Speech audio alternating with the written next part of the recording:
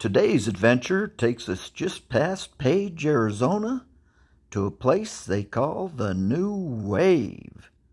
And of course, we went in Kelly's Jeep Gladiator Rubicon, or as he calls it, Ruby. what is what is happening? Oh, I can't wait to see this. Oh, hello. I feel like I'm in a movie and it's a mechanical monster. You don't need four wheel drive to go to the new wave, but if you do, you can drive a little further and see a little bit more. Yeah, this is cool. Oh, you got it on now. Give it the thumbs up. I'm just trying to. I'm just. I'm new to this experience. Oh, that is cool.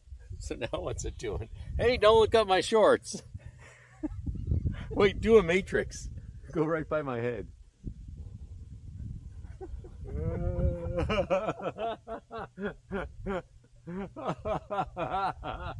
The trail's only supposed to be about a mile, but we went much further as we hiked up and around through some of the rock formations. This is a trail. There's actually rocks marking it.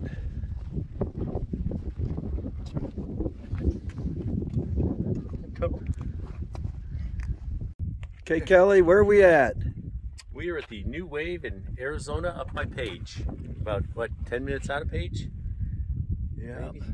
We just enjoyed a delicious, delightful meal of Taco Bell, Burrito Supreme's Rain, and I believe the Mexican pizza is supposed to come back soon. Okay, I'm not thinking about food. There's his advertisement. The new wave gets its name from the wave like texture and contours of the limestone formations here. Of course, they call it the new wave because most people are familiar with the wave a little farther north in Arizona that requires a permit. This site doesn't require any permit, and not many people know about it, and not many people go there, but it's just a couple minutes from Page and located right off the interstate. So, Kelly, did I ever tell you the story about the cat I had when I was a kid? Nope. As you look at some of the video from the new wave, I'll tell you the story about our cat we had when I was just a kid. Grew up on 23rd Avenue in Myrtle, Phoenix, Arizona, and we had this cat always trying to run inside the house. Whenever you open the door, just shoot in. My dad used to always say, at night, make sure you put the cat out. So, at any rate, we were having dinner, as we always do as a family. And after dinner, one of our favorite desserts is ice cream. And since come from a large family, have a couple freezers and one's out back in the garage. And so when we were done eating, me being the youngest, they sent out to get the ice cream. Of course, I went out and opened the door to the freezer and got the ice cream and came inside. And my dad just takes the whole container of ice cream, opens it up, and with a big knife slices it up into nine pieces. And each one of us get a piece. Of course, my sisters didn't like square ice cream because they thought it tasted different than when it's scooped. But that's a whole nother story. At any rate, getting back to the cat story, when we're done eating and done, I guess, eating the ice cream, I went back out into the freezer to put the ice cream back. And lo and behold, when I got the ice cream, the cat had jumped in the door and into the freezer, and now the cat was, well, basically frozen. So I pulled this frozen cat out, take it into the house, and I'm like, you know, we froze the cat. What do we do? And my dad's not a real animal person, so he didn't know what to do. And he asked the neighbor. And the neighbor said, Well, you need to give it some sort of stimulant, give it some alcohol or something, and maybe that'll wake it up and get it going. And we don't drink, so we don't have any alcohol in the house. So, being resourceful, resourceful, my dad said, "Well, let's give it a little gasoline."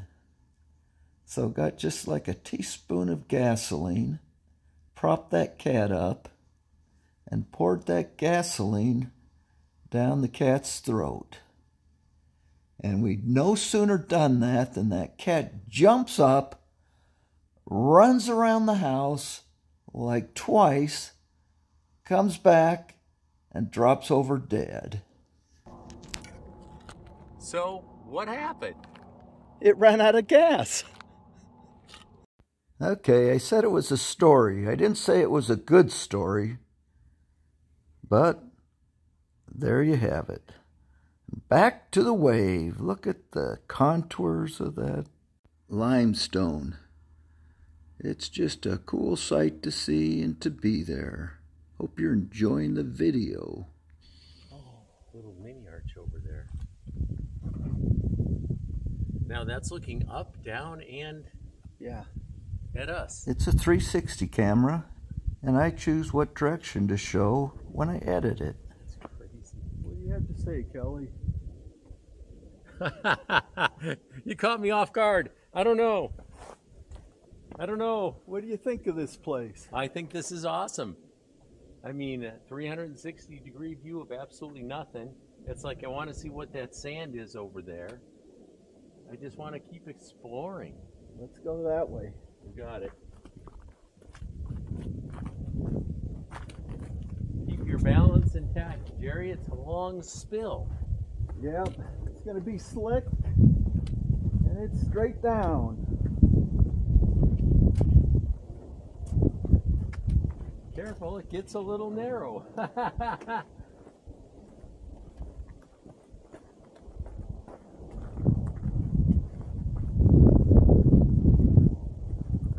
Okay, we think this is the new wave. and my travel advisor. I got him here. but just very cool I got to see the other sight side. to see. It was interesting because every time we went around a new rock, it's, I think this is the new wave. No, that's a moth. But interesting to see these little puddles. And I don't know if there's one spot that is the wave or if the whole place collectively is called the new wave. But there's lots of little areas that could be considered the wave or look kind of like the actual wave rather than the new wave. But as you'll see in a minute, if you follow the trail, there is one point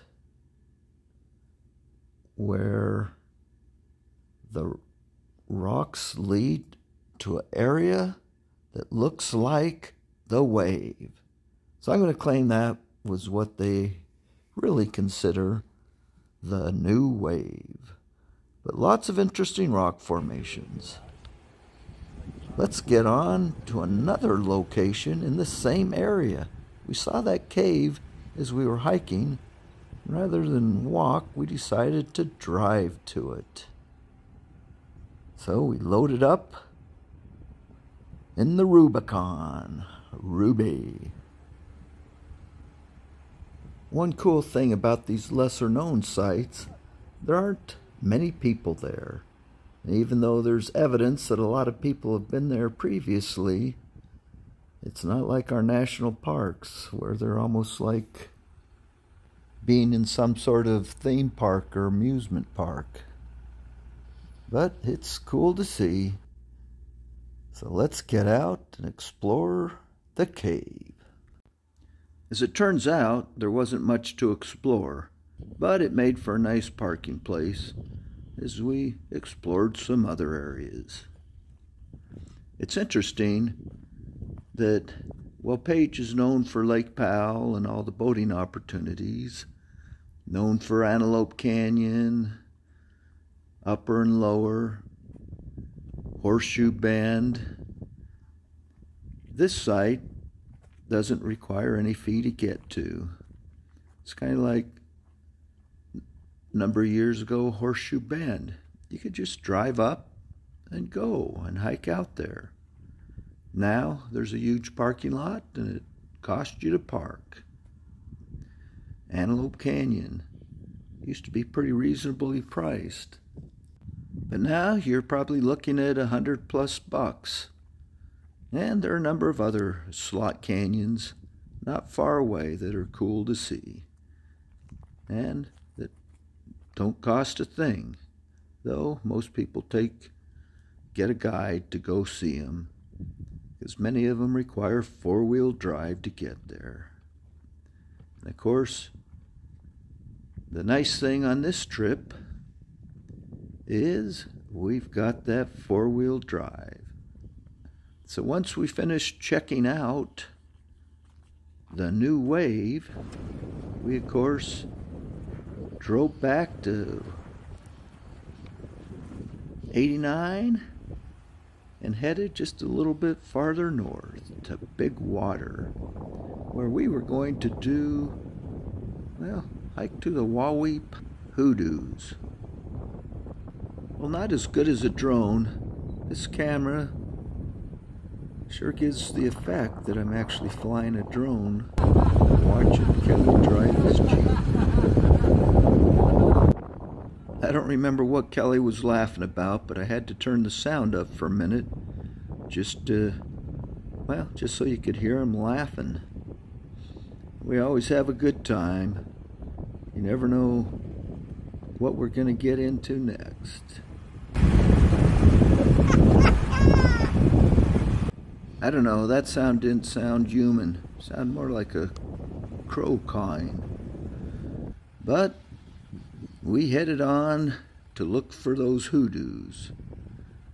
And I'd come here before, and at that time when I went to cross this river, it rained recently and it was very wide and deep. This time, well, it was pretty much nothing for Kelly's Jeep to go across. But something to be aware of.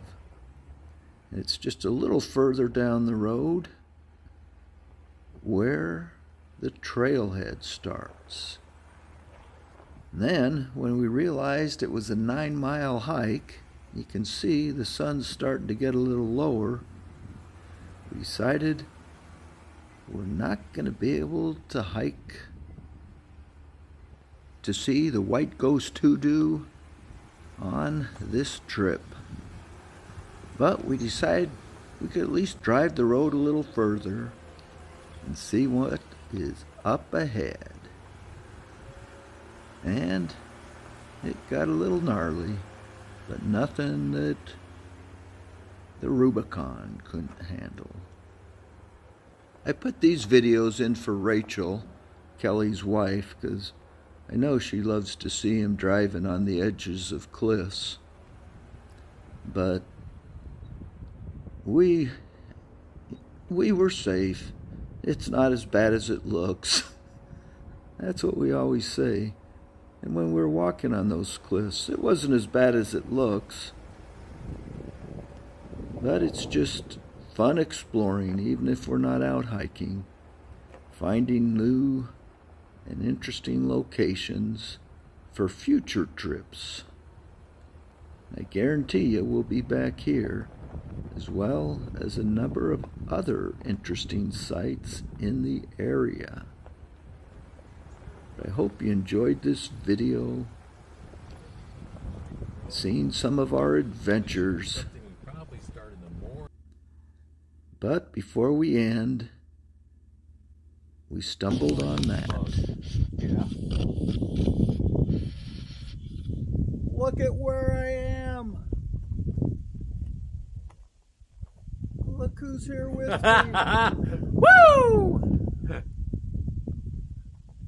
Give it the thumbs up. I mean, this is crazy. This is crazy. The unnamed, unfound hoodoo. Well, not unfound, unnamed. we found it. Just a cool rock formation we found before the sun sets. You can see Kelly's Jeep in the background. Just a short little hike to it. But it's just these interesting finds that make it all worthwhile. And I hope you enjoyed the video. Hope you have a great day. And this is just day one of our adventures. So we'll have a bunch of other interesting hikes and interesting locations. So stay tuned whenever I get around to it. But have a great day.